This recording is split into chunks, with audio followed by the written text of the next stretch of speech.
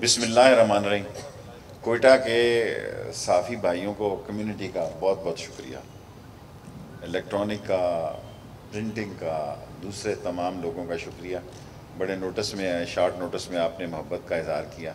हम आए हैं कि हम चमन एक्सप्रेस को प्राइवेटाइज करने जा रहे हैं, यानी आउटसोर्स करने जा रहे हैं। जो पार्टी ख़रीदना चाहे स्ट्रक्चर हमारा होगा, सब कुछ हमारा होगा, लेकिन प्राइवेट पार्टी को देने जा रहे हैं। और दूसरी जो अहम बात आपसे रेलवे के बारे में करनी है कि हम स्पिन बोलदक तक चमन से साढ़े ग्यारह किलोमीटर लाइन बिछाने जा रहे हैं। बाकी जब काबल वाले कंधार के लिए करेंगे करेंगे। हमने अपना पी सी वन और सारा मसला तैयार कर लिया फ्राम चमन टू स्पिन बोलदक, साढ़े ग्यारह किलोमीटर जो। तीसरा ये है कि एक से चार ग्रेड के तमाम पेंशन क्लियर कर रहे हैं आज। टोटल कोयटा, पिशावर, सातों के सातों डिवीज़न में सिर्फ़ लाहौर को ज़रा रोका है, शायद उसका फ़ंक्शन करना हो। बाकी तमाम लोगों के अकाउंट्स में हमने जो पैसे भेज दिए और हमारी पूरी कोशिश है पीएम पैकेज वालों को तो निकाला नहीं जा सकता कि टीएलए के मुलाजमीन को भी हम कंफर्म कर दें। अभी हमारे पास वो बजट नहीं है, लेकिन टीएलए के मुलाजमीन को भी हम, अब हमारा टास्क ये है कि तमाम टीएलए के मुलाजमीन को कंफर्म कर दें। अब पॉलिटिकली रेलवे की इतनी बात। अभी अभी अभी अभी मैं सियासी बात थोड़ी सी कर लूँ, फिर आप कर लें। नंबर वन ये लोग कहते हैं कि कोरोना नहीं फैल रहा। वोट को कहते हैं इज़्ज़त दो, वोटर को कहते हैं कोरोना में धक्का दो। यानी ये वोटर को मार रहे हैं। वोट को इज़्ज़त देने की बात कर रहे हैं और वोटर को कह रहे हैं कोरोना में धक्का दो। और मुल्तान और पिशावर में उनके जलसे वाजबी किस्म के थे, ग्यारह पार्टियों के मिलकर। और जो सियासी सूरत हाल है, मैं कोयटा में वाजा कर देना चाहता हूँ। अल्हम्दुलिल्लाह, अल्लाह सुबहाना ताला को नबी के सदक़े में इमरान खान टाइम पूरा करेगा जी। इन जलसों से नहीं जा रहा। अगर किसी को ये गलत फहमी है कि ये लाहौर, मुल्तान और पेशावर के जलसों से इमरान खान जा रहा है तो ये गलत फहमी निकाल दें अपने जहन से। बाकी जैसे जैसे आप सितम करेंगे, हम सितम करेंगे। आप वफा करेंगे, हम वफा करेंगे। आप जफा करेंगे, हम जफा करेंगे। हम आप जैसे लोग हैं, हम मुकाबला करेंगे शराफत से आइन और कानून के दायरे में।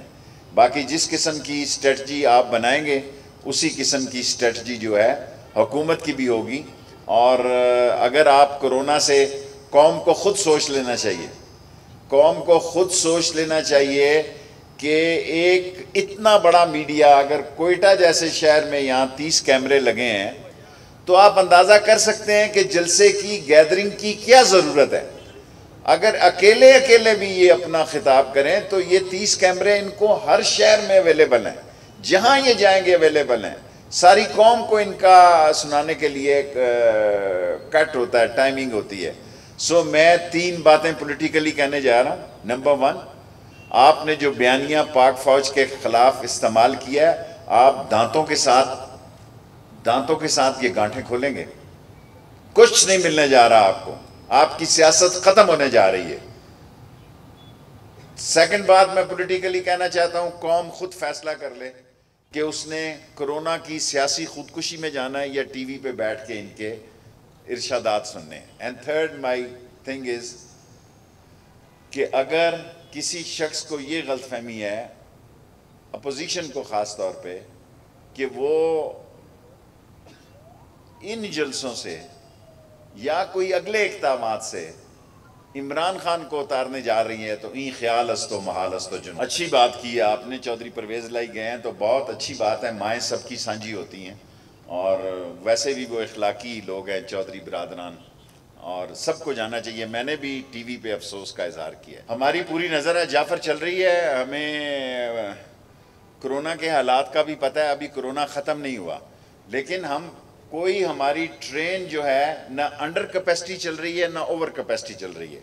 और आप ये सुनकर हैरान होंगे कि अब ट्रेन का और जहाज़ का किराया भी बराबर है। थोड़ा सा ही फ़र्क रह गया द रीज़न इज़ ये बात मुझे एज ए मार्केटिंग मैन सियासतदान तो नहीं कहनी चाहिए बिल्कुल, लेकिन मार्केटिंग मैन भी नहीं कहनी चाहिए कि लोगों ने सफ़र करना बहुत कम कर दिया हम फ्रेट में बहुत ज़्यादा कमा रहे हैं, लेकिन पैसेंजर सवारियाँ जो हैं, वो कोरोना के बाद जहाज़ की भी कम हुई हैं और रेल की भी कम। I I I must appreciate your question सारी दुनिया में सियासी मद्दोजर में इंतशार और खलफशार आ रहा है। इंडिया के अंदर कसान बहुत बड़ी स्ट्राइक पे निकला है।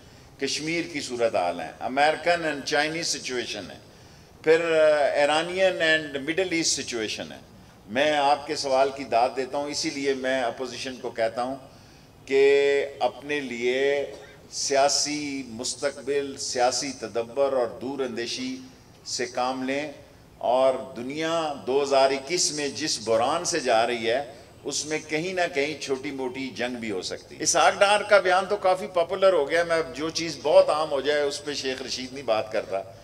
मैं triple S short sweet and smart बात करता हूँ। इसाक डार बहुत आम हो गया है। और अपोजिशन जब फैसला करेंगे, जो भी उनके जलसे की तारीखें हैं, मैंने आपको कहा ना कि सितम करोगे, सितम करेंगे। वफा करोगे, वफा करेंगे। जफा करोगे, जफा करेंगे। हम आदमी हैं, आप जैसे। जो तुम करोगे, वो हम करेंगे। डायलाग, कभी गो मुझे कई लोगों ने एतराज़ किया है, मेरी पीटीआई के लोगों ने भी आपने बात की है। सियासतदान डायलाग के दरवाजे कैसे बंद कर सकते मेरा नहीं ख्याल, मुझे किसी और ने भी बात की है। सूरी साहब बेहतर, हम इनके मेज़, ये मेज़बान हैं, हम इनके मेहमान हैं आज और कल दो दिन। तो जो उन्होंने बात की है, पाकिस्तान के पासपोर्ट में तो अभी इसराइल का नाम भी दाखिल नहीं है। सो इसके लिए एक नया पासपोर्ट लेना होगा। बहुत अच्छी बात है, अफ़गानिस्तान के हालात बेहतर हो रहे हैं। पाकिस्तान की खारजा पॉलिसी मैं समझता हूँ इमरान खान की, कि वो तमाम पड़ोसी और तमाम दूसरे लोगों से बेहतर तल्लक़ात रखता जाती है और ख़ास तौर पर चीन के साथ हमारा एम एल वन जो है, जिससे डेढ़ लाख लोगों को रोज़गार मिलने जा रहा है और पिशावर से लेके और तो कराची तक नया ट्रैक बिछने जा रहा है ग्वादर डेवलप होने जा रहा है और चीन के साथ हमारी दोस्ती हमालिया से बुलंद कई शहरों में स्टे हो गया इसको भी देख लेते हैं। थैंक यू वेरी सूरी साहब। सूरी साहब बहुत ज़बरदस्त डिप्टी स्पीकर हैं जी मैं इनसे बहुत मुतासर हूँ। कासम सूरी साहब ने पहली दफ़ा जिस तरह असम्बली को चलाया है और इनका फ़र्स्ट टाइम है लेकिन credit goes to Qasim Suri साहब full marks to Qasim Suri साहब and proved in all the occasion the best handling which he has all the ability and quality. देखें, अदारों को किसी की तकरीरों की ज़रूरत नहीं है। अदारे अदारे हैं सारी दुनिया में। अदारे पाकिस्तान पर जान निसार करने वाले लोगों की एक जमात है। और वोट मांगने वाले कभी भी मुतमिन नहीं हुए। अमेरिका जैसे मुल्क में एक सवालिया निशान है कि इलेक्शन फेयर हुए हैं नहीं। प्यूटन पता नहीं दो हज़ार छत्तीस तक चला गया हुआ है। दो सौ क्या कहते हैं छत्तीस तक चला गया। जितनी जमहूरियतें हैं, जहाँ इलेक्शन हो रहे हैं, वहाँ सवालिया निशान है। बाकी पाकिस्तान की अजीम फ़ौज है, अजीम सलार है इसका, अजीम क्यादत है, और इमरान खान इस मुल्क का आनस्तरीन सियासतदान है, और इन मुल्क आगे लेके जाएगा। छोड़ें जी, फ़ौज बहुत अजीम अदारा है, किसी की कोई अब आप देखेंगे, आपके कोयटा में उन्होंने क्या बयान दिया? कोयटा में उन्होंने बीबीसी को क्या इंटरव्यू दिया कि जनाब, देखे ना, ये हर जगह डिफरेंट सूरत हाल होगी। हर जगह डिफरेंट सूरत हाल होगी और इनको पछतावा होगा जो कुछ ये अपने पाँव पे कुल्हाड़ी मार चुके हैं। अल्लाह को पता है कि लंदन की सियासत से क्या नतीजा निकलेगा। अल्लाह के अलावा किसी को नहीं पता, लेकिन एक सियासी वर्कर मैं कह सकता हूँ कि इन्होंने अपनी सियासत को खुद दफन किया। अल्लाह मेरी, मैं सबसे उम्र में भी बड़ा हूँ और सियासी वर्कर भी हूँ। सो अल्लाह ने इंसान को अकल दी है। ये वक्त पाकिस्तान में बड़ा ही कड़ियल वक्त है, बड़ा इम्तहान का वक्त है। सारी दुनिया की अभी एक भाई ने बहुत ज़बरदस्त सवाल किया यहाँ से कि इंटरनेशनल पॉलिटिक्स में बहुत ज़्यादा मद्दोजर है, बहुत ज़्यादा बहरान है। साथ देखें जो कुछ ईरान के एक साइंसदान के साथ हुआ है जो कुछ दूसरे मुल्कों में हो रहे हैं मामला सो so, ये सारी बातें जो हैं वो इस बात का तकाजा करती हैं कि सियासतदान वो नहीं है कि मैं देखूँ कि ये तीस कैमरे लगे हैं। सियासतदान वो है इस टेंट के पीछे भी उसको एहसास हो कि वो साफी भी खड़े हैं। दिस इज़ पॉलिटिक्स लीडर वो है जो दीवार के पीछे भी देखे। लीडर वो नहीं कि सुबह उठ के एक बयानियाँ पढ़ दे कह दे जी बड़ी मेरी जायज़ होगी। और ना ही हमारी तरफ़ से तो तैयार है सिक्योरिटी के मसले हैं। हमारी तरफ़ से तो बिल्कुल तैयार है जी। हमने तो उनको कहा वो सिक्योरिटी दे दें। छोड़े पड़े हैं छोड़े पड़े वो बहुत पुराना अरसा हो गया ना इतनी पुरानी बातें करेंगे तो मेरी स्टूडेंट्स अब लाइफ के ज़माने की बातें निकल आएँगी। भाई इस पे फ़ौरन ऑफ़िस तबसरा कर सकता है। मैं अपनी फ़ील्ड में ही बात कर सकता हूँ। मैं आ, किसी दूसरी वजारत में बहुत सेंसिटिव सवाल आप कर रहे हैं। So let us to Khawaja अपना शाह महमूद शाह महमूद स्पीकर साहब ने मुझे फ्लोर नहीं दिया, उन्होंने कहा, शाह महमूद जवाब दे देखें। मोदी जितने भी जुल्म ढा रहा है, मोदी ने जो कुछ काम कर रहा है, हिंदू दत्त को जो उसने एक हिंदू मुल्क डिक्लेयर कर दिया है, उसमें क्रिश्चियन है, उसमें बुद्धिस्ट हैं, उसमें मुस्लिम है, तमाम दुनिया में एक मैसेज चला गया है, जो लिबरल लोग थे, जो इंडिपेंडेंट सोच रखते थे, जो नॉन अलाइंट थे वो totally totally India Hindu state बन चुका है और सारी दुनिया इसकी मजम्मत कर रही है और आज हिंदू तत्व की वजह से उसको वो मुकाम हासिल नहीं है जो पहले हासिल था। Thank you